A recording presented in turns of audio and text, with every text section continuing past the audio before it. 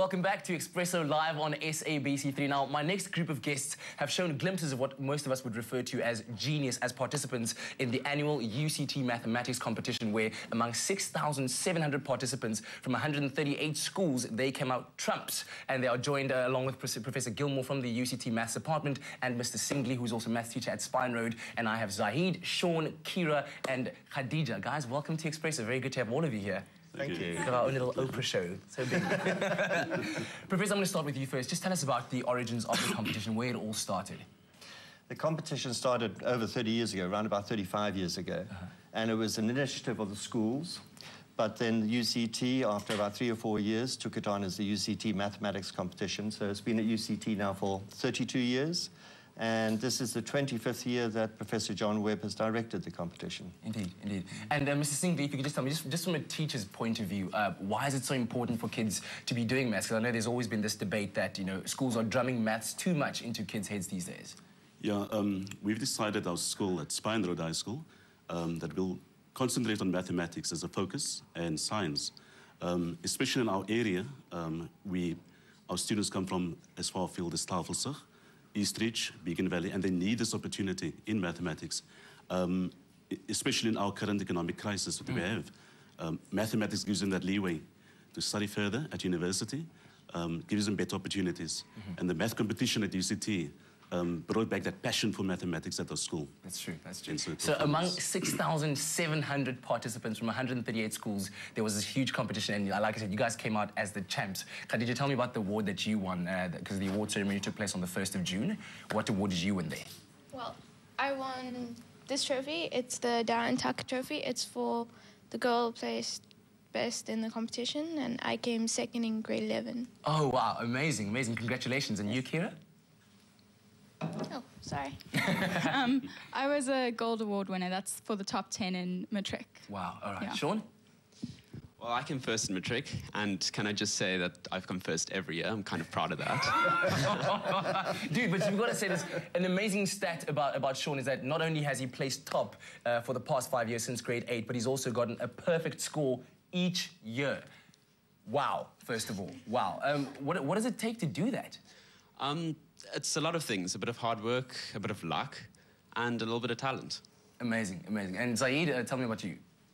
Well, we won the school award for the top, um, one of the top schools for the that participated for less than three time, times in the competition. That's an amazing achievement, I must say. And I'm going to ask, I think I'm going to ask you, Sean. Um, I don't know, you, you've watched Prison Break, right? Yes. And you've seen, there's this character called Michael Scofield, and he's, he walks around, and everything he sees in life, it kind of turns into a math sum and a math problem and geometric signs and all of these kinds of things. Is that how you guys see the world?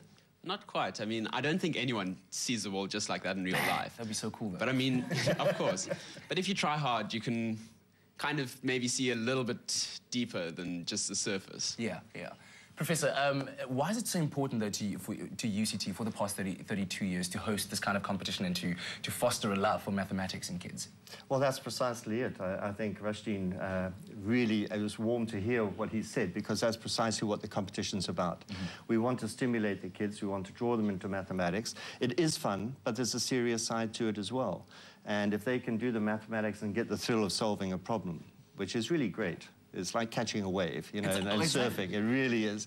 Dude, it's, uh, it's like catching a wave. I like that. Kira, tell me, what do you guys actually do for fun? Do, do you guys have fun other than, you know, solve math problems, you know, on a normal day? Um, most of us are quite balanced. Like, we do maths, and that's lots of fun. But we also participate in sports. We go to school, obviously, have friends. Yeah, yeah. That's quite normal. Which is pretty cool as well. Now, Professor, I believe that you've brought along a problem for me to solve. At this hour of the morning, it is, it is a bit early. and I haven't done math in a while, so... I agree with All you, right, yes. so how, how, does this problem work? Well, it's... Um, is it on the screen at the moment? It is on the screen. There we go. Okay.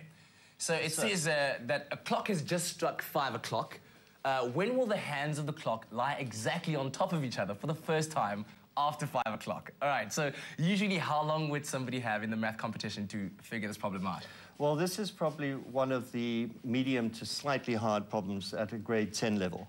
And there are 30 questions on a paper, and you've got, how long is it to do? Two hours? 75 minutes. 75 minutes, not, not two hours. Okay. So you can work out, you haven't got all that long to do that. Yeah, and like, can I have a calculator? No, you, don't- you, you don't need a calculator. Oh, okay, all right. Um, looking at this, I'm thinking there's 60 minutes in an hour, right? Uh, and from 5 o'clock to, uh, the, the needle has to move all the way from 5 to 6. It's five spaces in between there, so it's 60 divided by 5 is 12.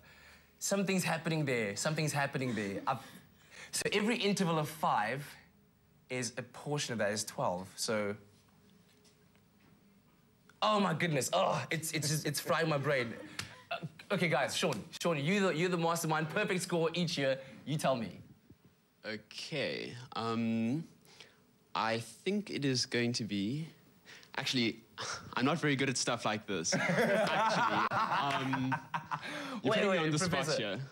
Take take us through how how one would actually solve a problem. I mean, you have to think very very quickly. Well, th- th- Sean is absolutely right. He's on the spot because a mathematician needs three things. He needs a pencil, he needs paper, and a waste paper basket. Okay. And at the moment, the contestants here don't have any of those 3 Mm-hmm. But the point is that what you want to do is set up a little model of the situation. Okay. And you, you had the idea when you were talking about the divisions five, the hour hand moves through five minutes in an hour, whereas the minute hand through, works through 60 minutes. Yes. So you have the factor of a 12 coming in. Yes. So you set up a little algebraic equation, okay. and do you want me to give you a hint?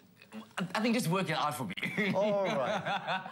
Well, x is the number of minutes you want to find Yes. after 5 o'clock. And so you let x equal 25 plus, and then x divided by 12. And you solve that algebraically, and you get 27 and 3 elevenths minute. And I must commend the cameraman for working that out so quickly. Fantastic stuff. Thank you so so much for that. I appreciate it. Thank you very much to each of you being here, and congratulations and good luck for the future. Love it, love Thank it. you. Thank you very much. So, uh, lots more to come on Expresso right after the break.